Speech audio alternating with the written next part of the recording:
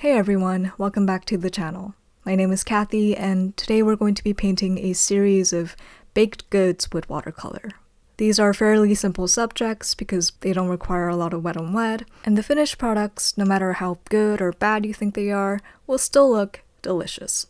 Fair warning, cake cravings will be happening.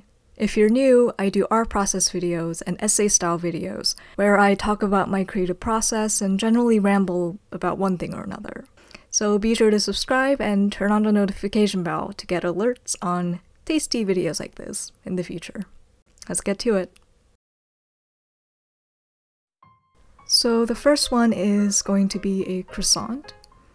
I'm sketching out the shape of the pastry and the sharpest lines of the layers, as well as the shadow. I'm using Stonehenge Aqua for all the paintings today. And for the watercolors, I'm using mostly Mijello Mission Gold. You'll find a list of all the materials in the description.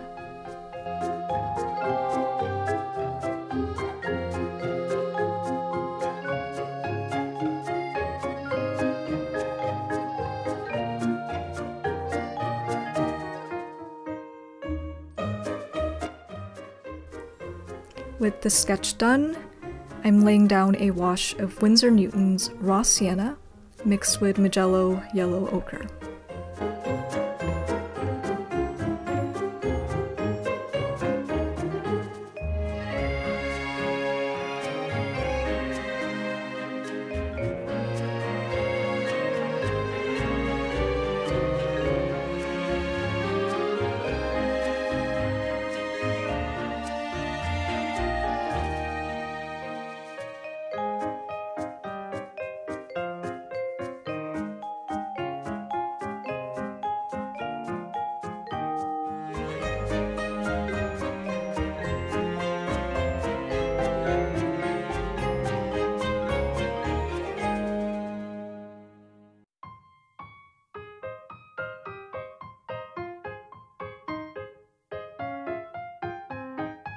With the first layer dried, I'm loading my brush with a mix of yellow ochre and burnt sienna, and brushing it across the croissant in a kind of zigzag motion, leaving gaps in between for the highlights. For this part, I think the rougher and more imperfect, the better. So I'm not worrying about even washes, I'm actually searching out the blooms and interesting textures, putting firm pressure on my brush and scraping it harshly in a downward direction. Rough dry brushing is very fun, but it's also a fantastic one-way trip to wear out your brush hairs faster. So I don't recommend using your $90 watercolor brushes for this.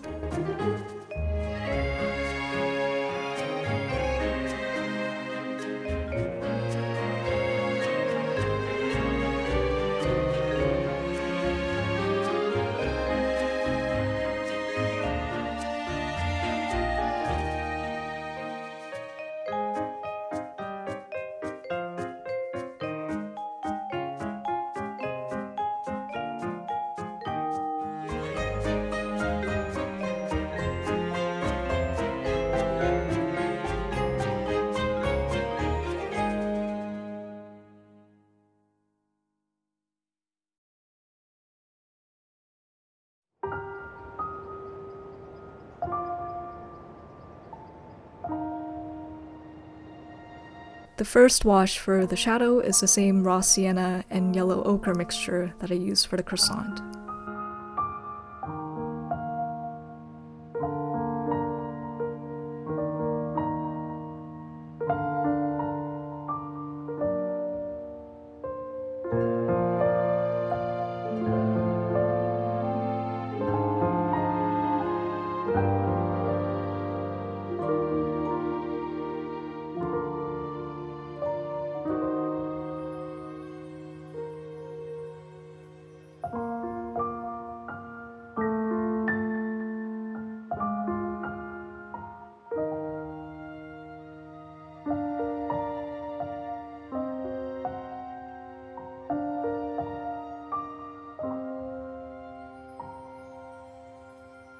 For the next layers, I'm using a mix of light red, yellow ochre and burnt sienna, and cobalt blue. some areas near the highlights are going to be more red than others, and the more shadowed areas are going to be more blue in tone. This part is kind of tricky. It's very easy to follow the reference photo layer by layer, pixel by pixel, and create something that looks exactly like a photocopy, which isn't really my goal today. So I'm trying not to get bogged down by the fine details.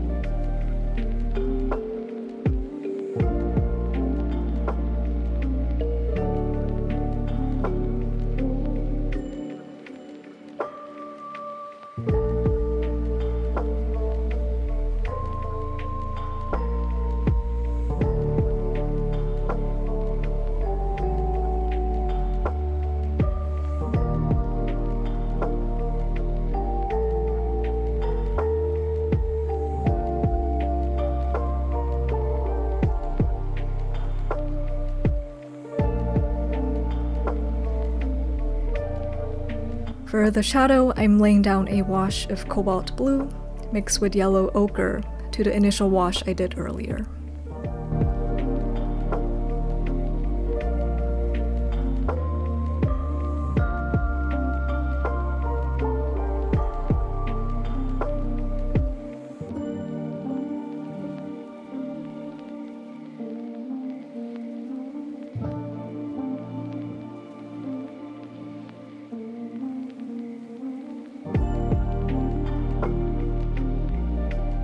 For the details, I'm switching to a smaller round brush and adding small marks here and there.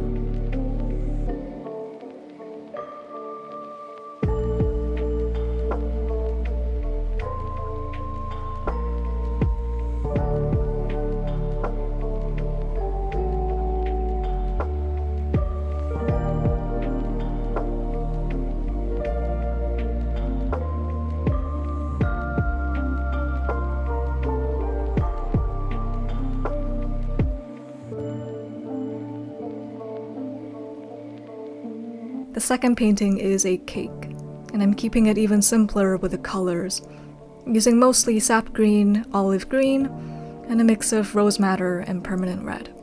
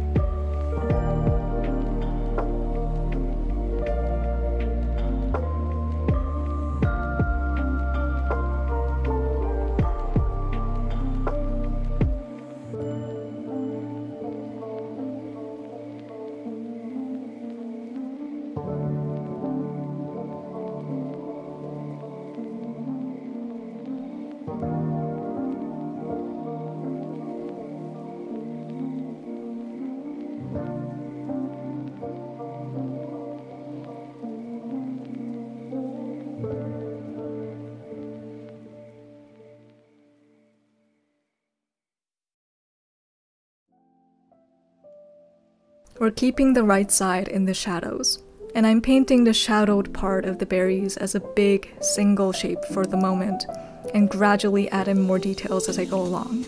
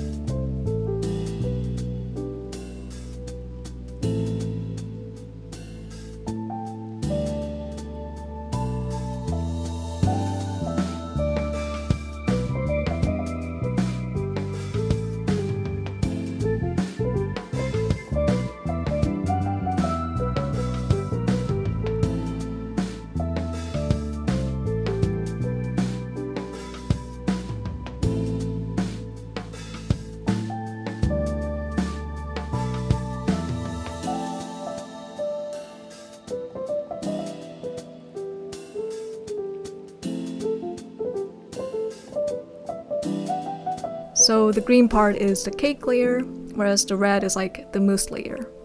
So I'm keeping the top a little more smooth in texture, and the bottom part a bit more textured, with dry brushing and visible brush marks.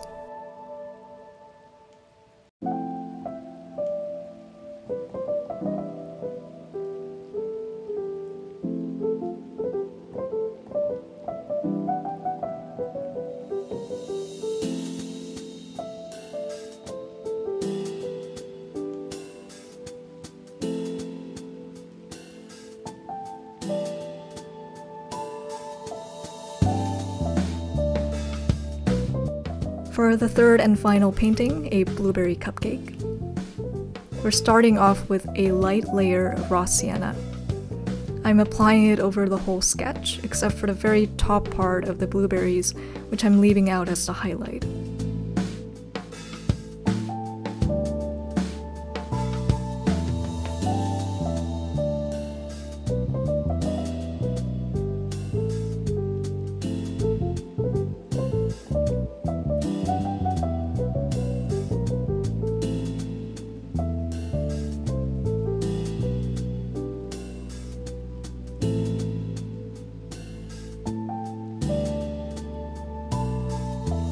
Once the first layer is dried, I'm going to use a mix of cerulean blue plus rose madder plus a bit of white gouache and paint over the cream and the blueberries.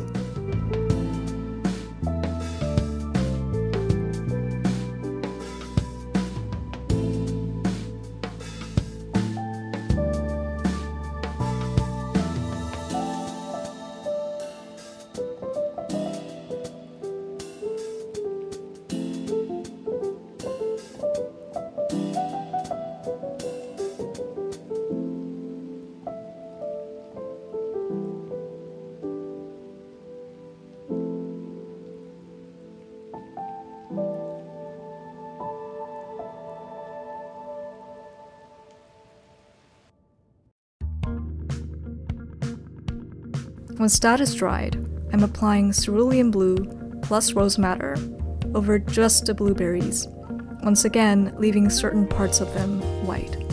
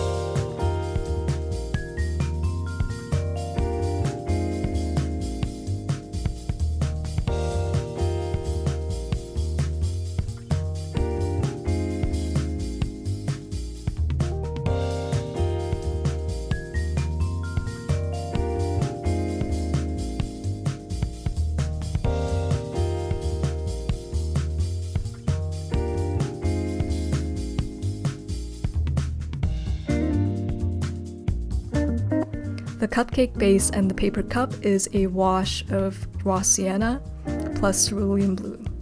Again, I'm taking care to leave certain parts of it unpainted.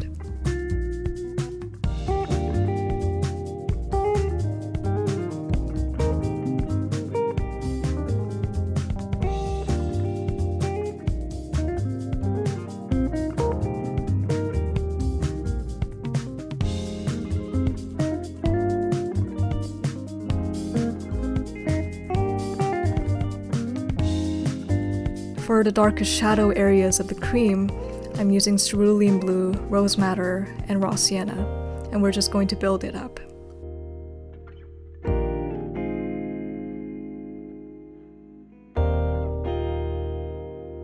The leaves, the three little ears for the cupcake are painted with a mix of cerulean blue and raw sienna.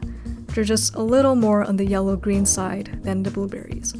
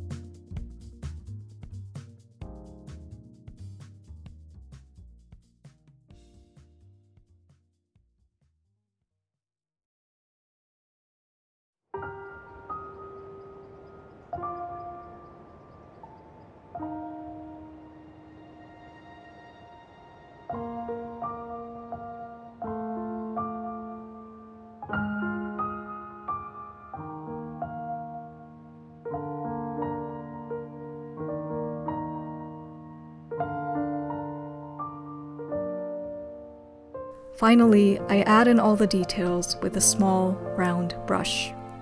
The crumbly pistachio flakes over the frosting, the darkest areas of the cream and the blueberries, and I'm also using white gouache to add in some additional highlights around the blueberries and the leaves.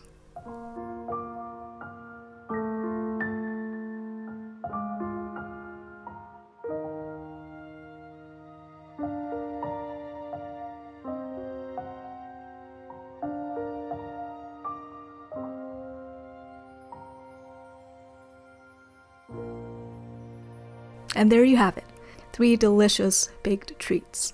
And happy October! The pumpkins are being picked, the skeletons are out, and I think it's a great time all around to indulge in a little baking. Take care of yourself, take care of your box of sheep, and I'll see you in the next one.